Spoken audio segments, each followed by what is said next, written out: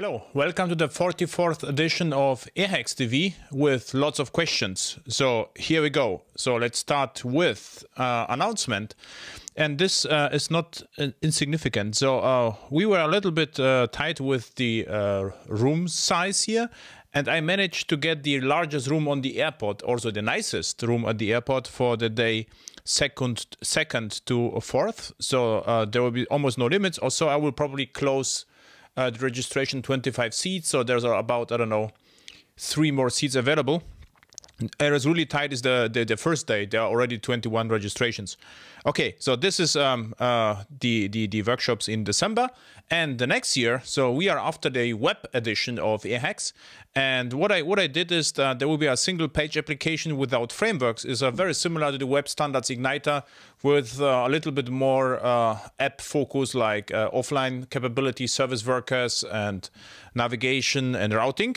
And uh, the second day is, is built on top of the first one, and I will talk a little bit about uh, web components, web component standard, standards, how to build apps with web components, and of course mention Polymer 3.0, 3.0 and some other uh, uh, web components frameworks. So uh, this happens in March, and hence React 16 frameworks is MIT licensed, so there are no more no more licensing issues. I also plan to deliver a um, React framework, but it will be later. So I think April or May. Okay, so this were this news. Something very new. Um, there is a podcast, and um, uh, I started the first episode. Um, this is uh, October 15th, right uh, after JavaOne. So it was a monologue. I'm just talking about JavaOne. But the second uh, episode with, uh, was with Sebastian Daschner. It is a airhacks alumni. So he, attended uh, a few years ago airhacks and now uh, he's also uh, speaks at conferences, is Java champion, and uh, and we are chat about uh, the state of Java and there are more episodes to come. If you like, register, so you can go to iTunes and get notified about new ep episodes, or there's um, direct RSS feed. So this is um, this, and now start with the very first question. And uh, the very first question is um, that during the talk, Java heavyweight or lightweight, this is a talk at JavaOne. And um, I, I, I, delivered a talk because I get uh, frequently the question, you know, um, what about the size of application servers? Are, are they not too big? Why I'm using them and they are too slow? and and this uh, this uh, talk only focuses on that. And by the way, I'm delivering similar talk, um, so with a little bit more content and and and, and switched, of course, uh, uh switched the content a little bit. Tomorrow at the WJAX conference in Munich. So if you are in Munich, um, just uh, I, I, think it's around 5 p.m. So, but uh, he asks. I didn't mention um, Spring. why that? So why I didn't compare Spring to Java? And the answer is uh, um, fairly simple. Um, so most of, as all of my projects are Java. I never started a Greenfield Spring project. So uh, I, I, would have to prepare something uh, for the conference, for the talk. And um, also what I did in the talk is I compared application servers with Hello World Java SE, so with nothing. So this is the worst possible case. Um, fully loaded or full-blown uh, Java E full stack application servers uh, WebSphere, Glassfish, and uh, I also uh, used the uh, WildFly Swarm, and I compared them with server sockets with one thread, a Java SE application, so there was nothing. If I would use Spring, I think that the, the, the footprint of Spring would be similar to uh, Java E um, application servers, and there were lots of discussion, you know, um, whether I use the right configuration or not, and, and there was like, this was not the point. The point was, you know, um, how much uh, RAM or footprint or download size we can save by not using the application servers and, and build something completely, I would say, lightweight and custom. Therefore, uh, Spring was not uh, the option in the talk. But um, if you like, prepare something, I will point to it.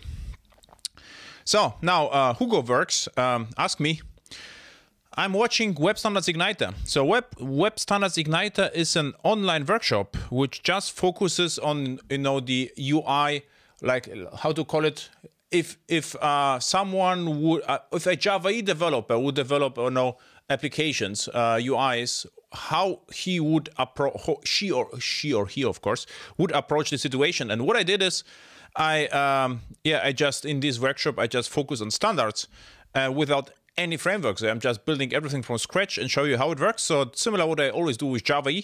And uh, so this is the the course is mentioned here. And the question is um, why, uh, how I would implement uh, the bar in HTML5. So first, so very simple bar. It would be a div with uh, background. So it's very and uh, with um, Flex layout, you are almost there, so uh, it will, would be very, very easy to implement. But the, the, the actual question is with server send events, WebSockets, or long polling. So in the past, I always use long polling, and um, because it always worked. Um, except you know the, the, the, the, the timeout should be short, not that long. So what long polling is is the server blocks connections, and if uh, um, sorry, the um, the browser initiates the con uh, connection, the browser blocks the connection, and if there is something to push to the browser, the server pu pushes uses the block connection and then closes the connection, and in the next second or so, the browser reopens the connection. This is the full cycle. So uh, what about the server? Is it just a simple servlet socket or, or web so socket?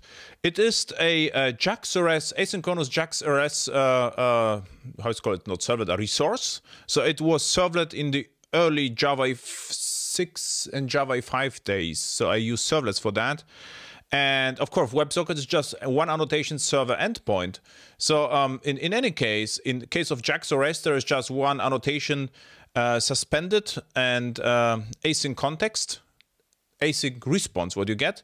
And in the case of WebSockets, you have one class with one annotation, server endpoint, and all other annotations are very similar to the corresponding JavaScript methods. Um, and he uses Socket.io or Atmosphere. Exactly, Socket.io I would say is a little bit more popular than Atmosphere. So Atmosphere comes from from Java, so it's uh, actually from Grizzly. It's a Java solution, and Socket.io is used by all the UI front end uh, devs. And the question about fallback. So what I did uh, recently, I implemented a chat which used WebSockets to push the information. The point was in um, the WebSockets were just uh, like notification was just a notification mechanism uh, to notify the client that something changed, and the client was uh, meant to fetch the changes using using JAX-RS. So in this particular case, uh, if WebSockets wouldn't be supported, the uh, the user would have to, to, to push the refresh button manually. So this was uh, my way of dealing with the situation, and I didn't have to use any additional framework. So of course, Socket.io does it more um, uh, does it more um, transparently. The question is now how often it happens nowadays that the that uh, web sockets are actually blocked. So it happens less and less, and this is a firewall issue. So this is what you will have to evaluate first to know how high is the probability that the web sockets gets blocked? So this is an interesting one. So Simon Passarelli asked me, do you have any idea why JAX-B has been deprecated with Java 9? And um, so um, indeed it is, and there's actually a post. So I will copy it to the to the chat. And so let's do this. someone says, Adam, we wish to see you at Devoxx Belgium. So, but you see me right now, and not only you and everyone else. So I had no time this time to, for for Devoxx, uh, crazy times. But thank you, and um, next time. So, but um, um, yeah. So this is uh, the um, where was it here? Module shared with Java not resolved by default. And uh, what it means is JAX-B is also a part of Java E and Oracle decides to, uh, to you know to, to to make this the standard and not uh, the Java SE. So in, in, in future, you will have to use uh, additional module with Java SE to have JAX-B. JAX-B itself is not deprecated. Actually, in fact, if I, we go to JCP, and I think this is 222, uh, 220? No, 222? Yes, uh, Java architecture for XML binding, and the recent is 2.3 version. And as you can see, uh, it is uh, uh, quite in development. So we had um, some reviews, and the maintenance review ballot was in 18 of April. So it happens a lot there. So it's not like it's not further developed. It's more like um, it is it's going to be removed from Java SE and and not being dub, uh, supported double in Java SE and Java EE. This is at least uh, my interpretation of this. Um, yeah, so this is. Um, if you have any other information, just uh, write write a comment. So done that. Uh, next one. This is actually also interesting one. So uh, Hugo again. So ask me in my opinion, what is more faster? In HTML, in a text. So now switch the switch com complete uh, uh, um, context switch. So this refers to HTML5 and actually not HTML5, just uh, DOM API, browser DOM API. So what is more faster using an inner HTML and inner text? So actually inner text is going to be faster because there is nothing to parse. And inner HTML, what you can do, you can pass um, HTML tags and the browser will have to parse them. Then document create element, document clean, uh, clone node, and what you forgot to ask is document dot uh, create fragment, which is really interesting. So with a fragment, you can create prepare uh, your uh, elements and then flush them at once to the browser, which is supposed to be a little bit more faster. So by the way, uh, in uh, at the very end of the Web Standards Igniter workshop, I created a, a table with 10,000 rows and uh, I forgot how many. I, I, suppose 10 to 100 columns. I, I don't know how many. And um, the whole table was rendered without any optimizations in about uh, two seconds. So um, the question is now what we are talking about, what we are building. If you are building a game, this is an issue. If you are building an enterprise app, uh, and don't bother with that. Uh, just you know implement a simple uh, just uh, just keep your code simple and forgot any micro optimizations. But still.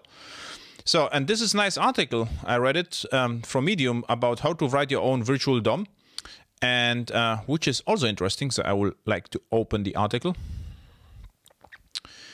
and um, uh, or use a vendor library. So what what happened is it turns out that you could actually not not, not use any virtual DOM or shadow DOM, and just focus on ES6 templates. And this is the fastest methods. And this is what Polymer 3 is going to do.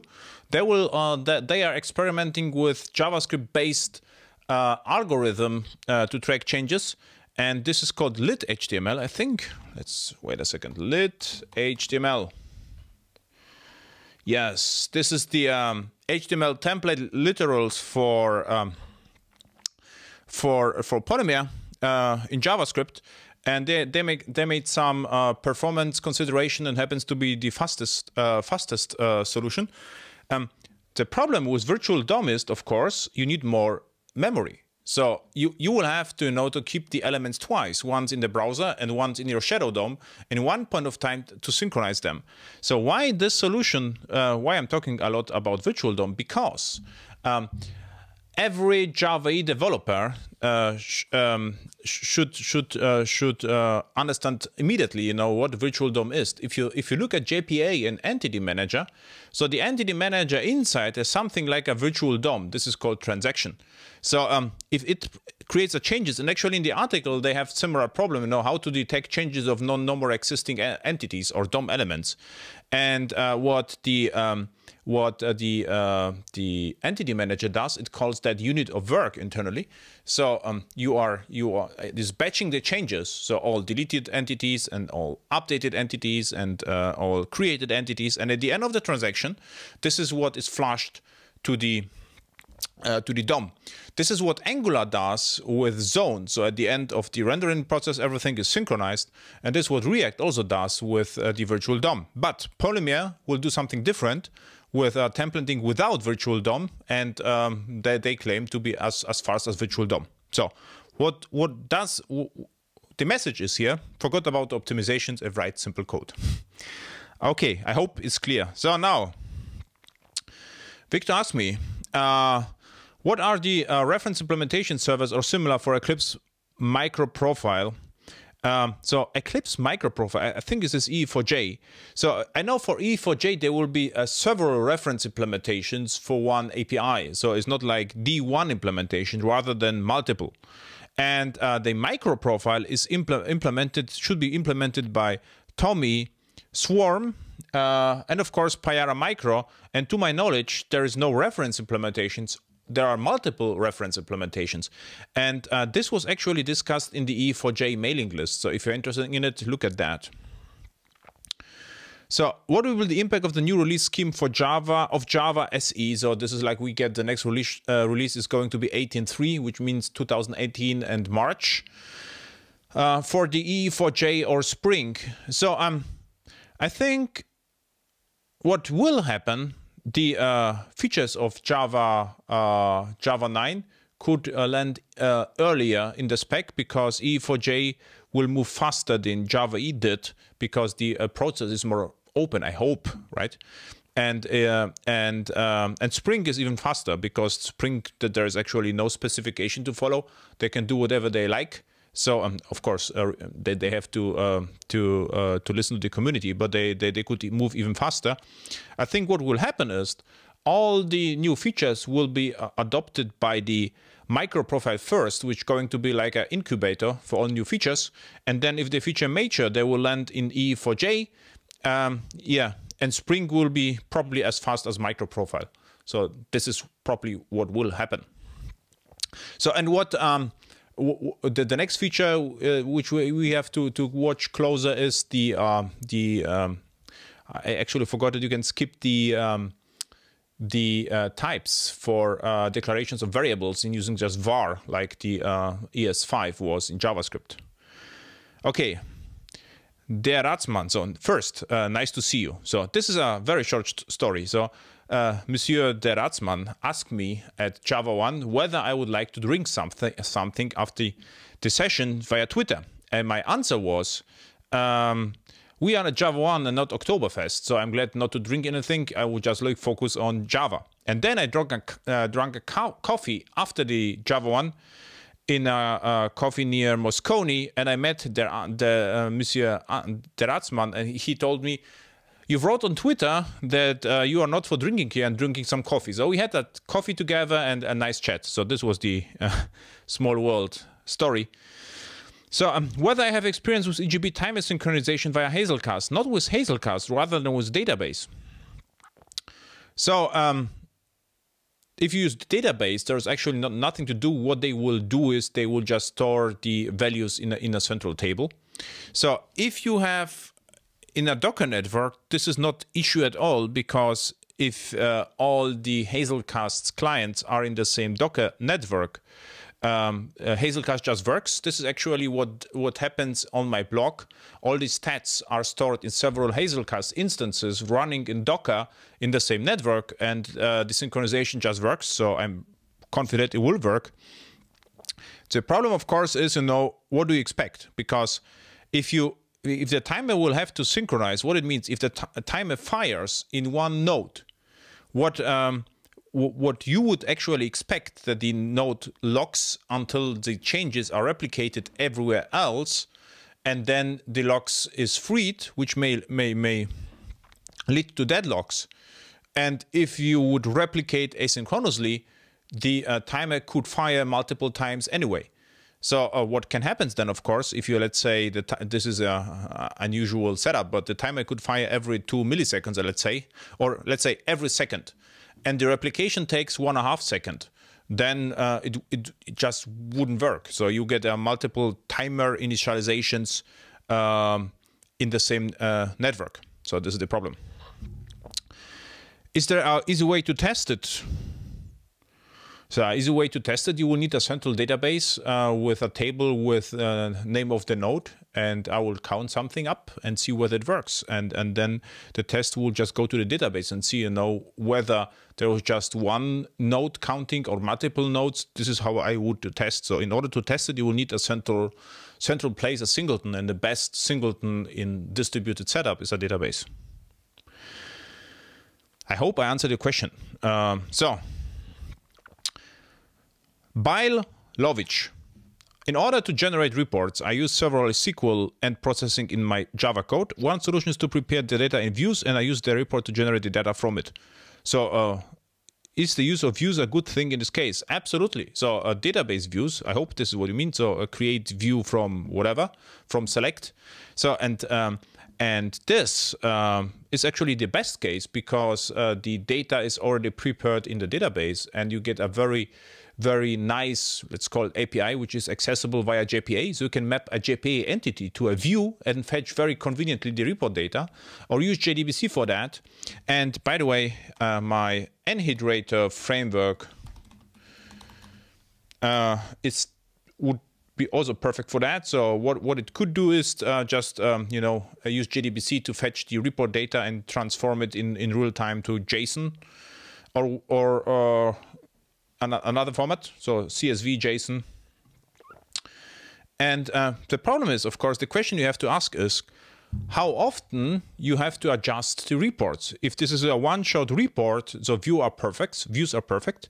But if this is a report which changes frequently because you get new requirements from the business department, then in my eyes would be a lot better to keep you know the, the report definition outside the database.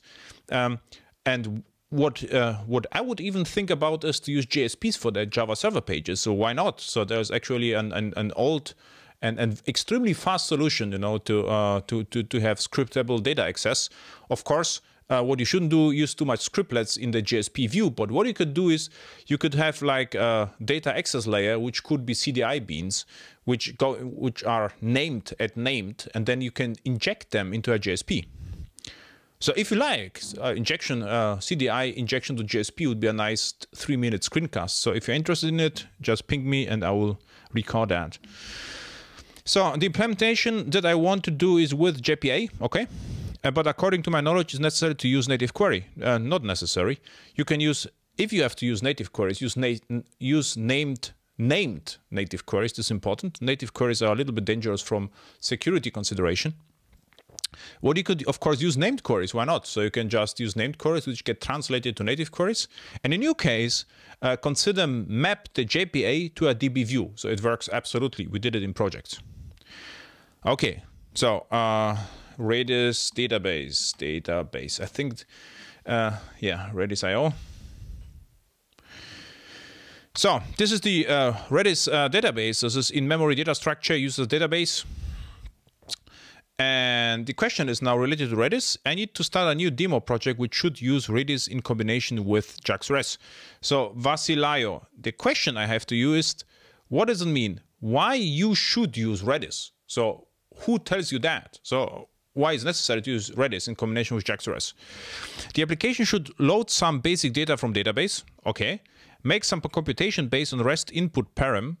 Uh, I mean, REST input param means uh, there is uh, probably a post or put method and there are some pass params and uh, you will parse the params and do something with it and save the result in Redis for later requests. Later requests probably means, you know, in later transactions and then in memory database could break. So um, I, I think the Redis will run not in process rather than a central place. Can you help me to understand what should be the correct architecture of such application? And is it viable to have this combination? I mean, first, I have no idea what you would like to build. So it is unusual to use Redis just without any additional, you know, requirement. So Redis is just uh, in in so in memory fast in memory database. What I would think as a Java developer first is H2 or JavaDB, for instance, is um, in memory. It is uh, extremely fast, and um, and regardless which solution you are using, what uh, what you should be a little bit careful is there is some costs associated serializing and deserializing Java objects from a uh, external database to memory back and forth. So my first idea would be to use concurrent hashmap um, as a very simple cache and then see uh, whether it actually works. So you can use a singleton, just go for it. So and and and Redis, I mean, I have question is no. For, for instance, I use in one project Elasticsearch, and why I use it because I really wanted to have uh, full text search, and I had already JSON in place, so it was a natural choice. So I, it was easy to explain what to choose. So um, if you have uh, would like to have just no JSON, you could even go with Postgres. So it's like you know, very fast database, very easy to install, and uh, with JSON and and even uh, NoSQL support. So um, yeah, it is a viable solution. So what would be the correct architecture? It would be a thin WAR, no dependencies. Um, there will be a BCE boundary control entity. It means uh, I would think about the concepts. The concept would become the component, a top level package. Within the package, there will be boundary, and the boundary you get a resource like, for instance, computations resource. This would be your entry point. Then you get a computation service, and into the service you can inject a remote reference to Redis, Elasticsearch, or uh, whatever database you have. And um, Redis is not um, supported right away. So what you will have to do is to integrate that. And if you like to integrate that, how to do this, yeah, you would have a class. It could be a singleton or not. And this class will produce the uh, Redis uh, binding, which can be injectable everywhere. So the correct architecture in your case, a proof of concept, should be no more than three classes. By the way, um, my recent project two weeks ago was um, was uh, really fun. So um, I got at Willa about 40 classes, proof of concept, and I, and I had to review the architecture. And the review, I spent, I think, I don't know, two days just describing in and 30 PowerPoint slides, you know, what not to do. And my client told me, okay, could you just change that? So what I did is I, I think removed everything and what, what what was left was like I think four to five classes in total. It was the full Java applications without any dependencies. And all there were multiple frameworks involved and, and mappers and everything was gone. So this is this was my current project. So in your case, there should be not more than three to five classes if this is a Java app. Okay. Any questions here? No questions here.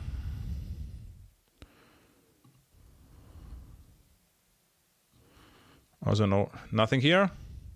Except requests to be in Devoxx Belgium is impossible to be in Belgium and in Munich or at Airhacks at the same time. So, done. And this is cool. I have been working on a port of Java E Rollerblock code to Java E. This is really fun because uh, archive adam-bien.com, I think. Yes. What this is, this is um, archive of all my blog posts going back to 2006 with the second post why blogging and over eclipsed. so let's see, over eclipsed. Uh, ah, Eclipse Callisto. So it's about Eclipse.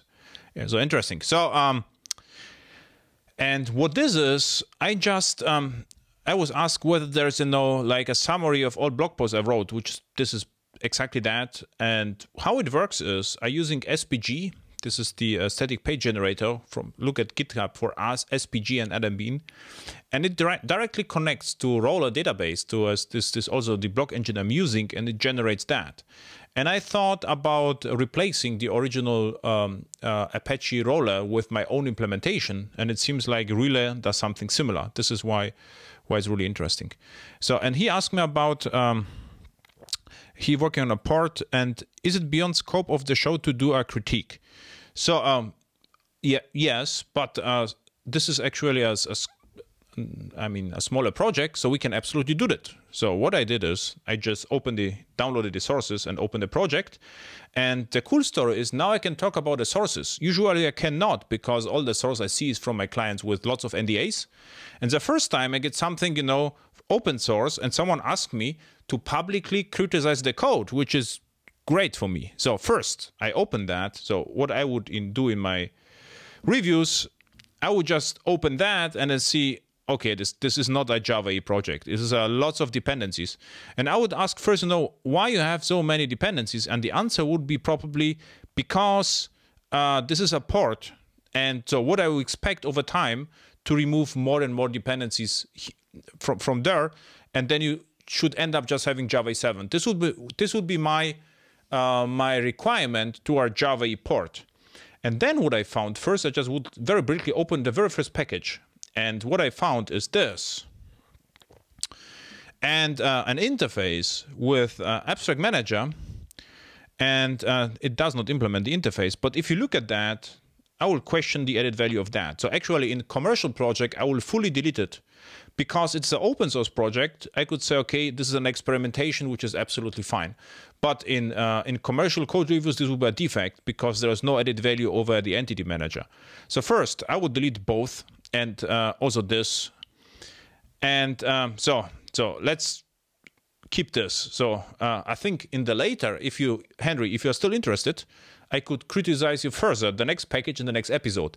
And uh, the next, if you would like to be a successful open source project, you should also change, you know, the packaging name. I wouldn't use your name here because you know the other contributors who would say, okay, this is uh, uh, I, I, don't know. Uh, we would have to have something neutral. So then you could look at my project, say, hey, why you are using COM Airhacks? And the answer is the, is the, a little bit uh, different. So I'm using COM Airhacks because some of my projects are in Sonatype Central. In one requirement is to be open source and you have to own the URL. And the only non-personal URL I own is com.airhacks and everything is com airhacks, which is public. So this is why I'm going this way. And I'm not that interested in contributions. So I'm not, you know, the perfect open source guy. I'm more, you know, I do something, if idea, I I push it to GitHub and and and and see what happens. But it's not like I try to build build you know uh, a new business on open source software. So whether someone contributes or not, I'm I'm, I'm fine with that. And and and um, honestly, I wouldn't have time, you know, to support projects. Uh, I don't know, with one day a week to create new features. So this this wouldn't work. But he has uh, some specific questions, and the questions are works only for WildFly Hibernate. And he added some stuff. The classes in questions are the user's entities. So let's just open the user's entities and I couldn't identify the problem. So if we look at the user's entity. So first he says this entities does not work or, or on Windows. So no, entity doesn't work on Windows. He had to rename it to entities. Um, this cannot be true. Um, I, I, I, had uh, Windows before and the entity package name always worked. What I guess what he did is he generated the um, the entities from a database and then also generated properly the boundary from a database uh, from from uh, from um, uh, with NetBeans, but uh, the uh, entities really look like generated classes. So what you, you should be careful. I would look at this, at the name queries, and really think about how many queries do you really need, because that many queries will cause uh, slowdown of your deployment. Having said that, I couldn't identify the problem. So again, I couldn't, uh, I didn't uh, deploy this to a Glassfish because of time. But there is no dependencies on, on Hibernate. There are, there are no Hibernate specific features in the classes. So it actually could work. What I would do first is to remove everything you don't need. And then, um, and then uh, like this, this, this looks actually reasonable and also user role. So I couldn't identify any problems which are, you know, Hibernate specific and therefore they don't run or I couldn't identify any Hibernate specific features. Okay, also something like the user manager here. Uh, so add a new user, this for instance, okay, this this this works. So we have the entity manager, but you know the, the whole inheritance, I will remove that. So I thought about create a port with different focus. It seems like you try to provide a multi-tenant solution to a blogger. I think I wouldn't do this anymore. Um, so uh, this is what's called Planet in Blogger. What I would do is like you know, you know uh, a blog engine for a single user. And in the microservice world, you know, who cares about multi-tenancy? So if you have five tenants, you have five microservices. This was the best possible isolation. So if you do this, you could remove, you know, all the users and security altogether, and you end up having, you know, a block engine just for one block instance. If someone would like to you know have more blocks, then we'll instantiate more engines, which is uh, far easier to manage, monitor, and we all know that the uh, Java E is lightweight enough, so there should be no no issues. If you are still interested, clean up the code and drop me a mail, and we have the Renovi review part two in the 45th episode, almost on Christmas. It will be in the beginning of of December. Okay, so now something happened in the chat. So what's wrong here? So I don't get any. The view is loading. Okay. So Henry says, uh, thanks for reviewing the project. So hopefully you are still happy. So um, I, I, was a little bit too critical, but uh, you know, you asked me for that, and this was the first uh, first impression. So again, if you like, if you if you like, clean up the code, throw away all the code and uh, throw away Arquillian, whatever you have is not needed. So keep it really simple, extremely simple, make it work. Then you, if you would like to make it grow, so um, many developers from outside will help you if the code is simple. If it's too complicated, you know, uh, it is no more Java. okay. Um, thank you. And I will keep, uh, uh, if you like, reviewing in the next episodes with all the attendees. So we will have, I know, multiple, I don't know, at the end of the day, could be, you know, over a thousand reviewers which look on your project. Similar thing. So it's like the Omega 09 asked me uh, about design question with a checked in project. So um, also interesting. Genau, a lot from Roller. This is what I thought. So, um, Henry, what I would do is I would, um, no, this is what I actually did in my project. I would just create a block with Roller, one single block, then export the tables and create from these crucial tables the entities. They will be the, you know, the crucial entities. And then drop everything else. So this is what I will do. And I know that the Roller uh, code is not that easy to understand because the Nighthacks book was uh, just just created because of that. So I wanted actually to enhance Blogger, the, the roller software with uh, statistics, and it didn't work for me because the old Spring version with old Hibernate, and whatever I did was not compatible. So um, I just uh, created a project X-Ray, and all the statistics statistics are computed outside. So this was actually the the idea there.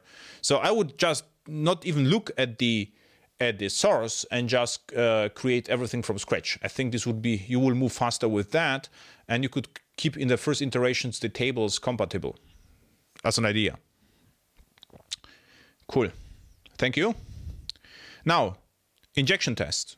So similar story. Someone asked me about, and I think we answered a similar question the last time, but my answer was not good enough. So we get the second answer. And this is computation processor.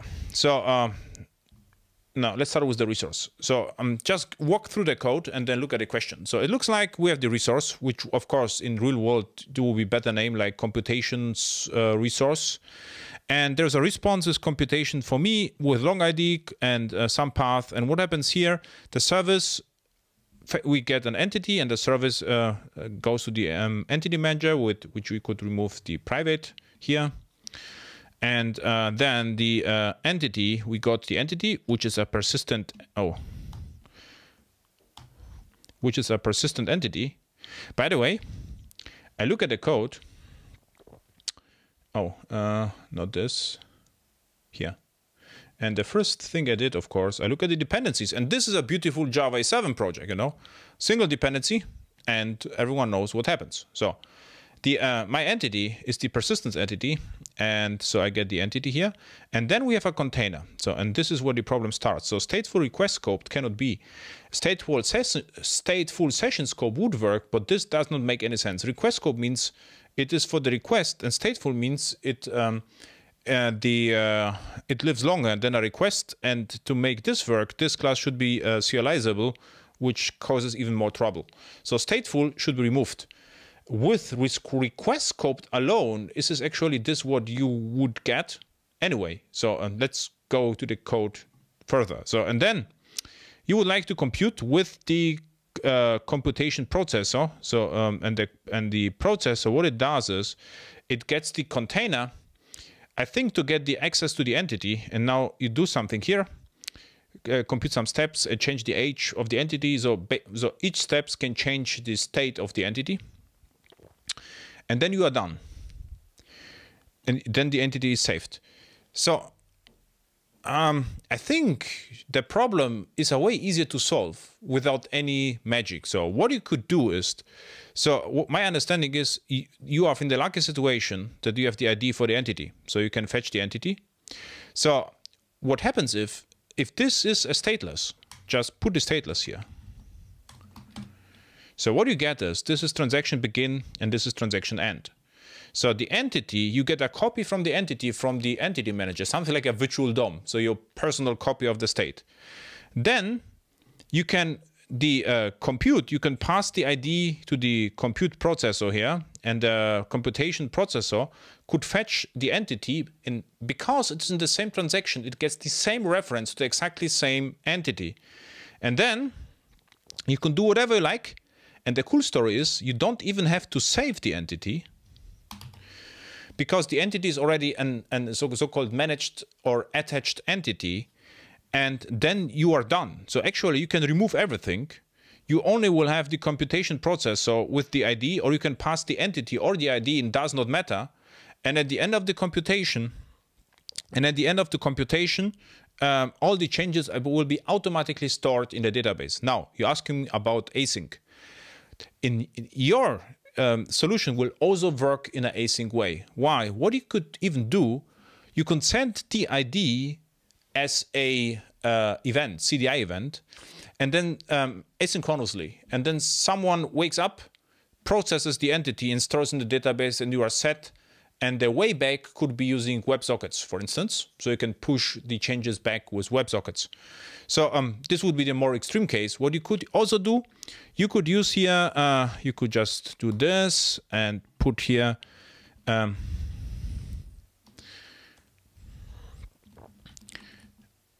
suspended suspended async response and response. So and what you could do then is of course response dot um, resume. So you can start an asynchronous process and with the resume you can push changes back to the browser. So this is what you could also do. If the computation takes longer the browser will block but the server but the uh, but the server would not consume any threads or any HTTP threads for that. I hope it's clear. If not, change the code and ask again. So you have four four weeks to do this. Cool. So let's see what happens here. So Twitter is quiet. There is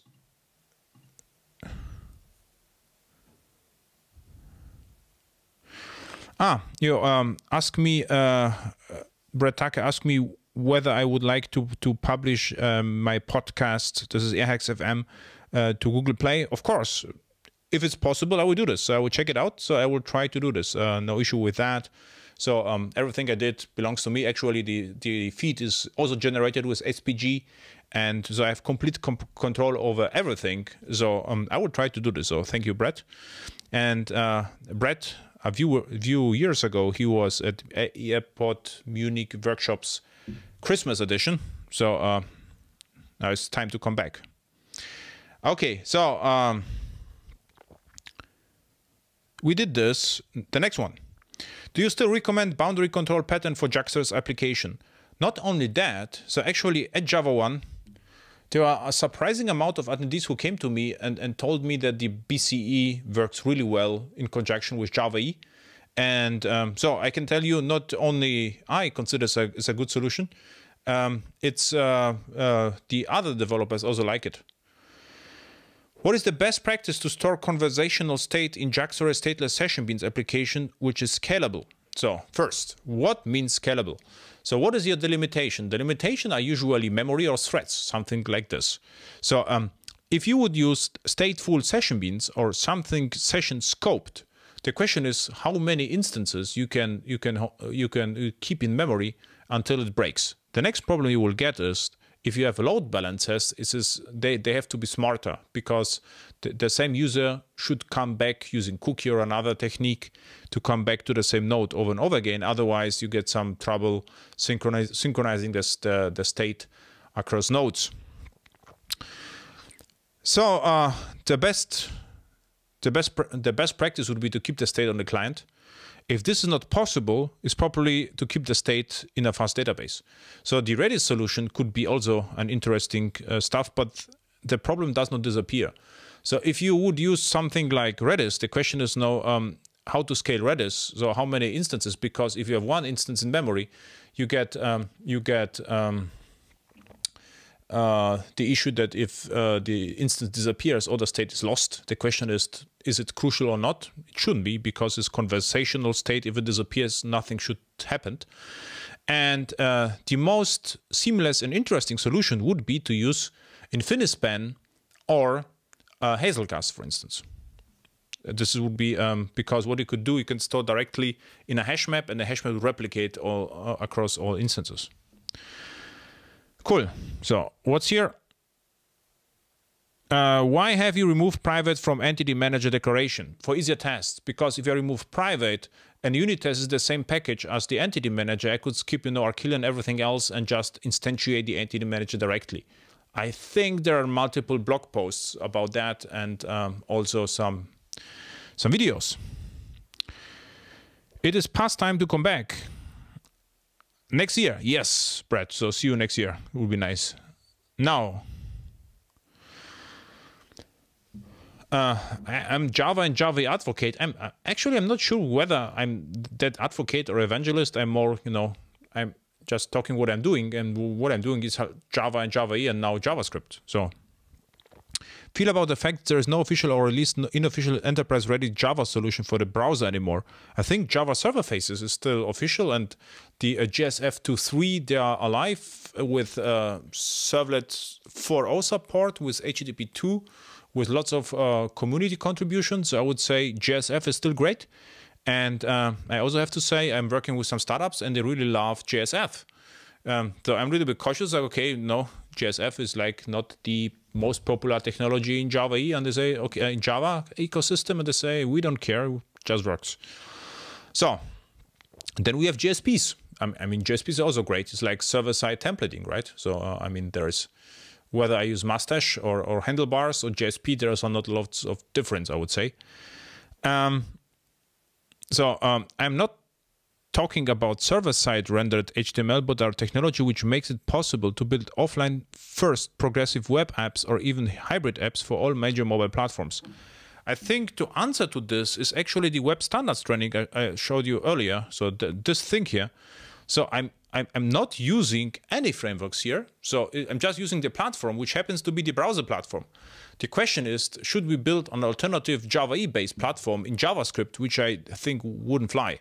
So what I did here, I tried to prove the point that you can you just use browser and, and, and build uh, decent apps without any frameworks, which is a very Javaistic way without Java E um, to develop apps. And um, I also think about, you know, uh, to um, I'm recording also more stuff, which is free. This is the um, how it's called bonus section, and there are some more features in pipeline. Um, so um, so responsive design, and I plan to do some uh, offline stuff here just to show you what how far you can go without any frameworks. So I don't think it's necessary to do this. Okay, so I hope I answered the question. So um, then Amy says, is there any endpoint Glassfish out of the box to deploy static files on the doc root folder? I don't think so. What you can do, you can lose, use Loader. Uh, loader Adam Bien, it's a small project for me. It just uses the REST API to deploy an um, to uh, to deploy a application and what you can have, you can have a war just with a static content and with, uh, it's called, I think, hmm, Glassfish Web. And with Glassfish Web XML, this is the proprietary uh, um, corresponding part to the Web XML.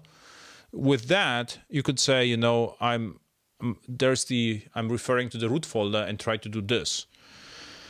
So this could work, but uh, I had no time, you see this was eight hours ago, to check whether there's actually an API to write something to the doc root folder. I don't think so, because you could break Glassfish itself.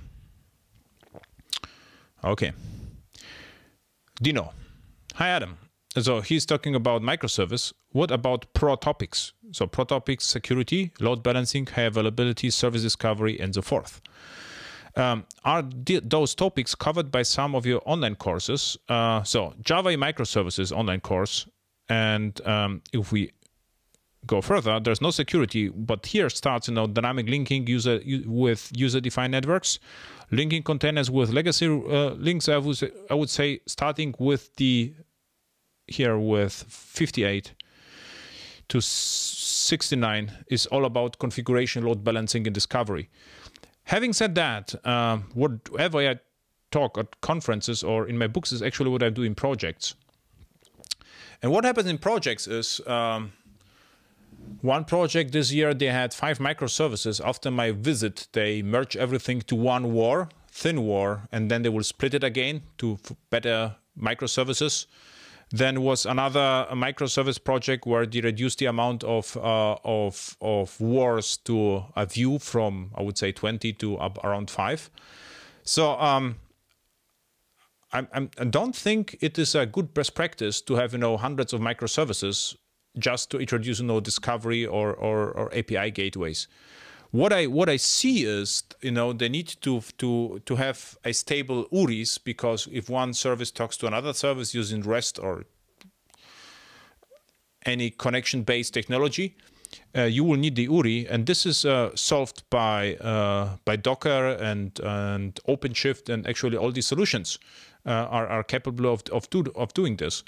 And in my current project, we use um, OpenShift, and it's also solved because in OpenShift, at the end of the day, uses Kubernetes, and Kubernetes exposes the services using the service endpoints, and these are stable load balanced, so you can absolutely use this URIs, as stable URIs, and uh, you can even have rolling updates behind the scenes. So there's actually no issue at all.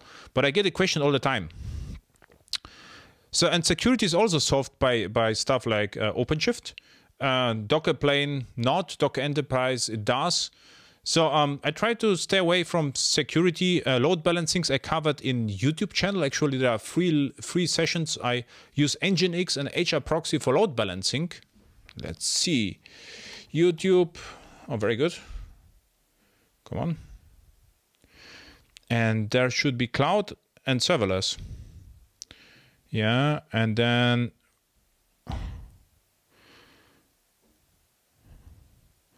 no cloud and serverless. Then do we have here microservices? Yeah, microservices.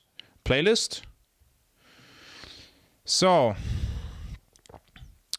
and at one point of time, so this is communication between wars with WebSockets. We have pushing Java thin wars to the cloud. So, um, and,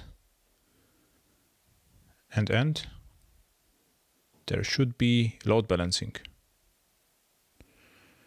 I did it with HAProxy.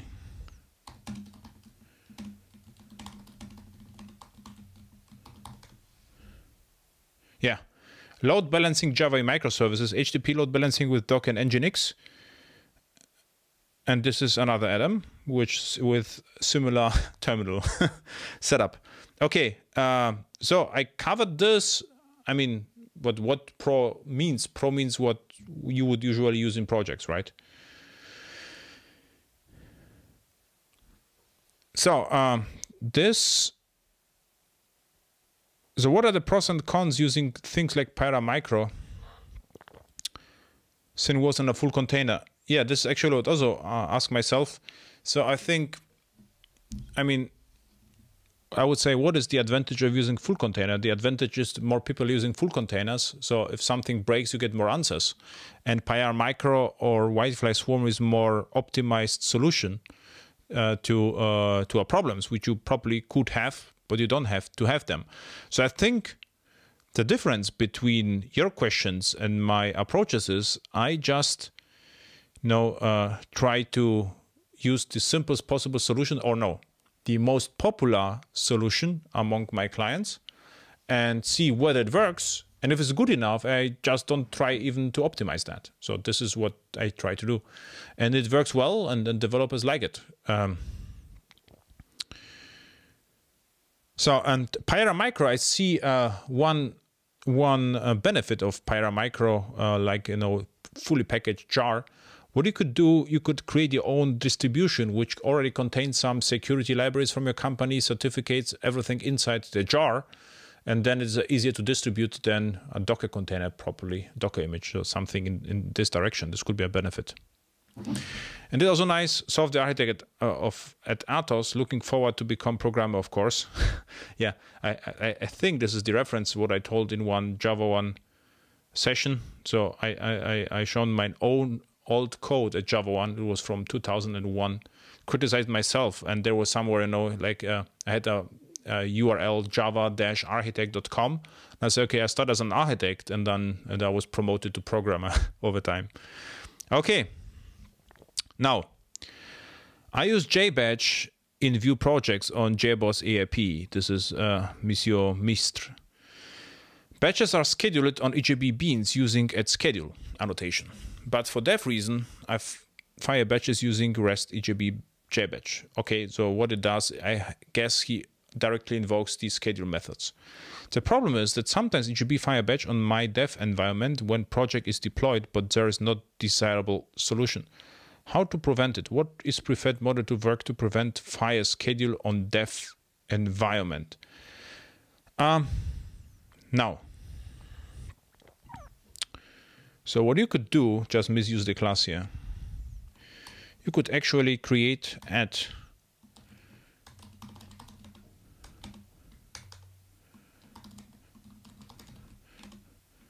a timer, timer service.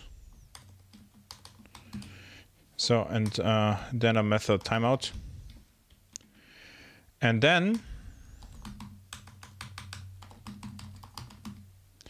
what you could do here, you could say, um,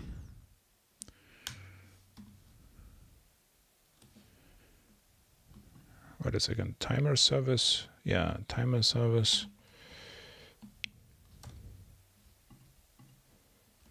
Save entity. What's going on here? Code is broken. Ah, the, the name of the class is resource. This is why it doesn't work. So, okay. So go somewhere else. So we have the service. So, and we could inject timer service. Uh, resource timer service service then init post construct and this could be a singleton which is startup. So and what you could do here is this service. Cre exactly. Create timer. Let's say here any you like uh, I guess you could create single action timer and let's say with any configuration you like. And the point is, the timer you have here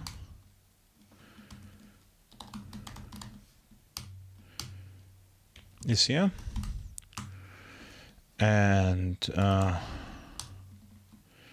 the timeout method, the timer will fire and what you can do, you can actually cancel the timer if it fired and reinitiate it. So what you can do is after it fired, you cancel it or you cancel it first, then do something and then call the method again. So you are full in full control how often the uh, timer fires. And there's this create, I think it's called create calendar timer.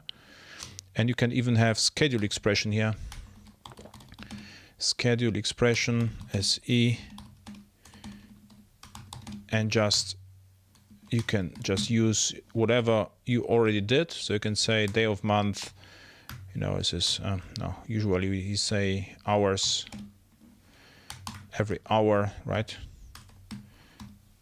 Every minute and every two seconds. Do something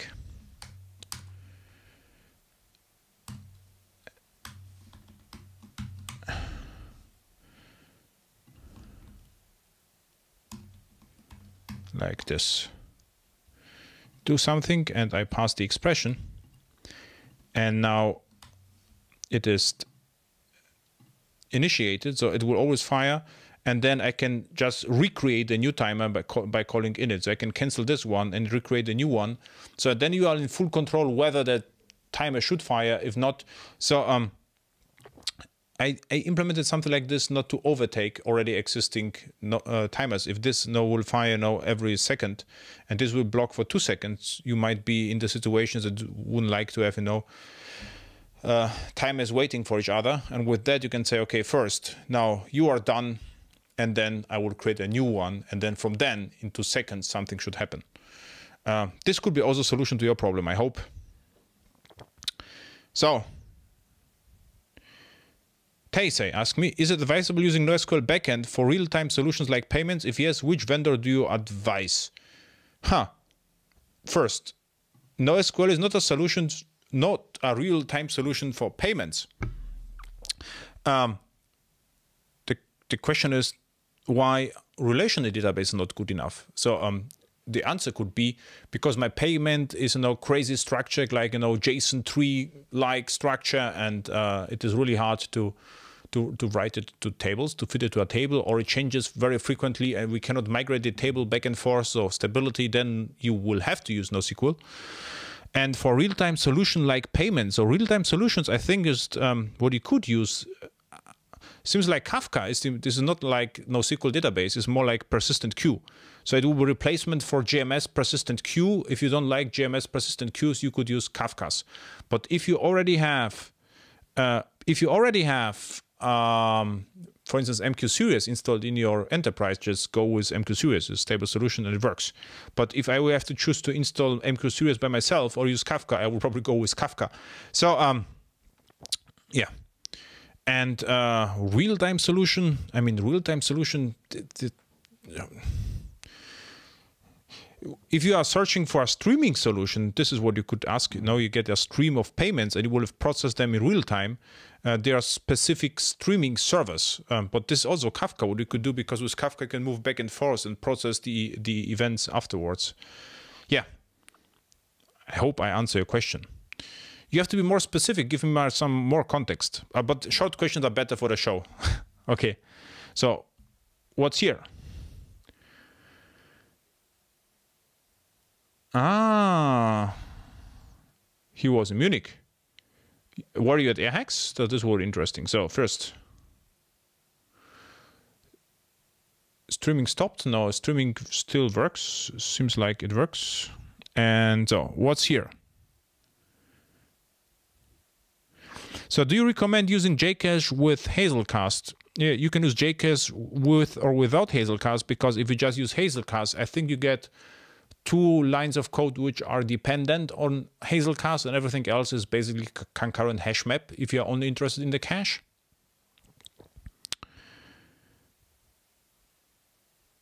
Okay. So, and seems like you have uh, streaming problems, but uh, everything is well working well in here and everything was recorded well, I hope. And yeah, so I would say see you in December. Thank you for the projects to review. It was fun. So if you like, we can keep doing this. So uh, just implement your engine and implement your injection test. Uh, develop it further, ping me, and I will review it again and package by package. So uh, if you also like it, do it. Um, so if you like, check out the podcast and see you at Munich Airport. Where was it? Um, here uh, next year with standards, this would be more like the enterprise solution to the problem without Java even, just with pure JavaScript. And uh, if you like, see you in December. So thank you for watching and bye.